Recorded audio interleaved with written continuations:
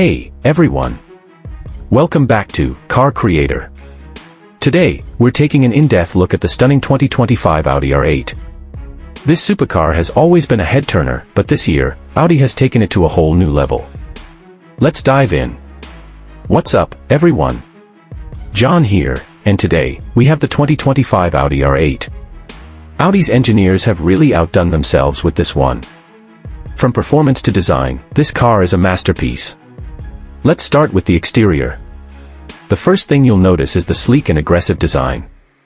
The new R8 sports sharper lines and a more aerodynamic profile. Check out these new LED headlights and the redesigned front grille, it screams speed and sophistication. Now, let's talk about the interior.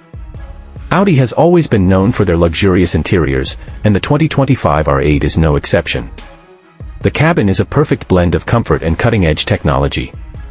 The virtual cockpit is crisp and intuitive, and these sports seats are not only stylish but also incredibly supportive. The new R8 comes with a Bang & Olufsen sound system, wireless charging, and Apple CarPlay and Android Auto integration. Everything you need for a top-notch driving experience.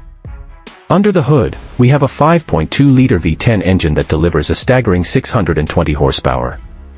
This beauty goes from 0 to 60 in just 3.1 seconds and has a top speed of 205 miles per hour.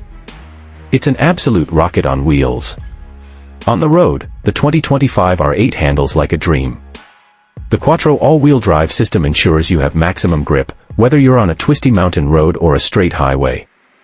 The suspension has been fine-tuned for both comfort and performance, giving you the best of both worlds. So, there you have it, the 2025 Audi R8. It's fast, it's stylish, and it's packed with the latest technology.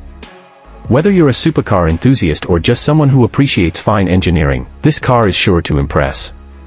If you enjoyed this review, make sure to hit that like button, subscribe to our channel, and ring the bell so you never miss an update. Leave a comment below and let us know what you think about the new R8. And if you want to see more reviews like this, check out our other videos.